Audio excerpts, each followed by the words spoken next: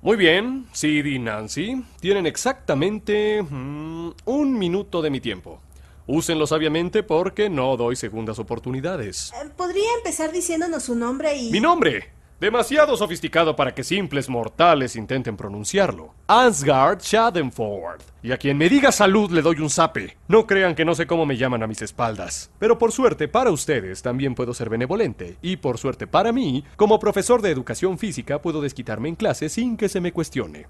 ¿Algo más? Les quedan 30 segundos. Eh, sobre... Tic-tac, tic-tac, el tiempo corre. Sobre su papel en el baile. Todo un papelazo, como si no tuviera nada mejor que hacer que ser niñera de un grupo de adolescentes para mantenerlos a raya y evitar que se dejen llevar por algún impulso de estupidez. Cosa que varios de ustedes parecen tener un talento especial para ello sin proponérselo. Pero, ¿qué se le va a hacer? Son decisiones que se toman de última hora ante circunstancias inesperadas. Por mi parte, cumpliré la tarea impuesta.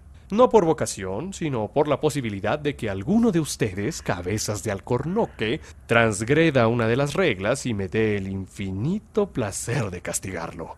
Hmm. Solo por eso no puedo esperar. Pero... Ah, ah, ah, ah, su tiempo ya pasó. Que no digan que no cumplo mis promesas y amenazas. Ah, Hasta la fiesta. Tengo ahora cosas más importantes que atender como descubrir quién de ustedes, granujas, tuvo la brillante idea de dibujar obscenidades en el auditorio. Y si llego a encontrar alguna conexión con el graffiti que apareció en mi oficina el otro día,